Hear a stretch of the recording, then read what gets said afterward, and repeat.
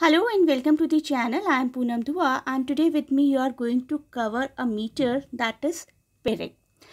Pyrrhic is a metrical foot of two unaccented syllables. Please do watch all the previous videos to understand meters, stressed, unstressed syllables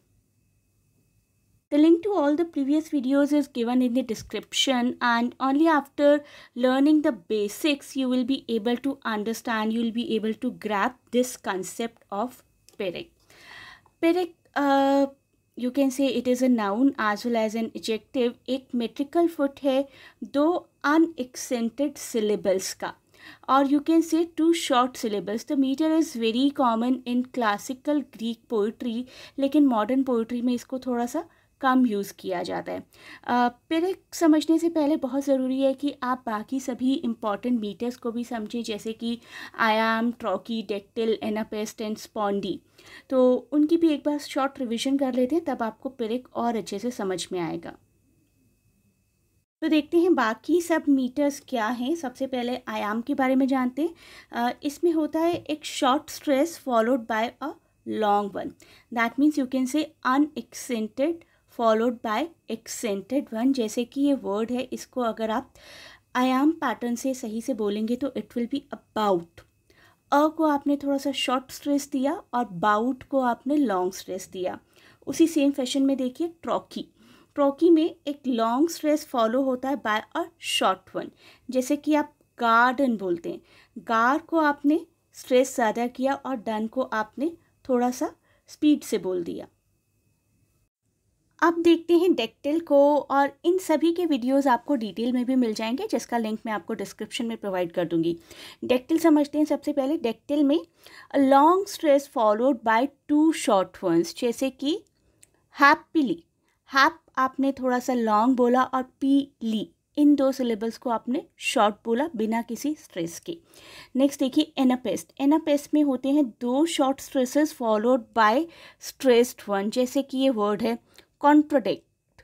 Contra आपने एकदम से बोल दिया और dict बोलते हुए आपने थोड़ा सा स्ट्रेस दिया। नेक्स्ट इज़ स्पॉन्डी जिसमें कि दो लॉन्ग स्ट्रेसेस एक साथ होते हैं, जैसे कि ये वर्ड है हम ड्रम तो इसमें आपने दो स्ट्रेसेस एक साथ दिए। And the one pyrrhic that we are going to cover today in detail इसमें दो अनस्ट्रेस सिलेबल्स एक साथ होते हैं। जैसे कि ये देखिए, यहाँ पर टू ए ये अनस्ट्रेस है।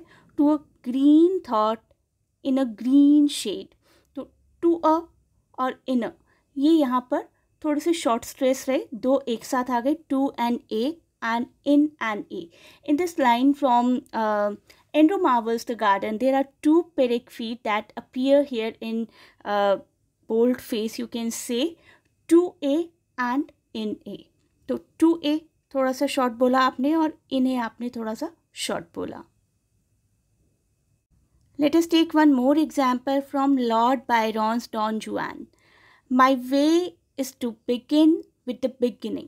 तो is to दोनों short syllables with the दोनों short syllables. In these lines, uh, there are two pyrrhics combination is to and with the. Let us take one more example from Alfred Lord Tennyson's In Memoriam. When the blood creeps and the nerves prick.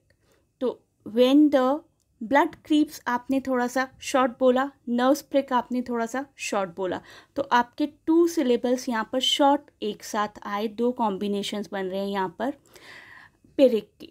So this is what this is how we speak pyrrhic two unaccented syllables अगर एक साथ आते हैं तो we call it pyrrhic metre सारे syllables को फिर से रिवाइज कर लेते हैं। डॉट रिप्रेजेंट कर रहा है अनएक्सेंटेड को और स्लैश रिप्रेजेंट कर रहा है एक्सेंटेड को।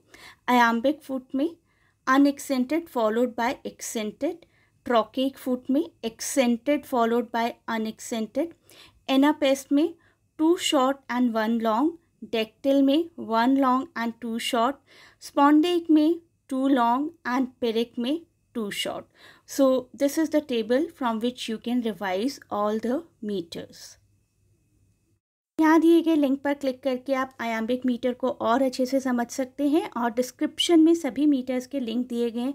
Please go through that this is a very necessary knowledge to appear for any of the competitive exam I hope you like the video please do not forget to share and subscribe the channel thanks for watching and best of luck for your exams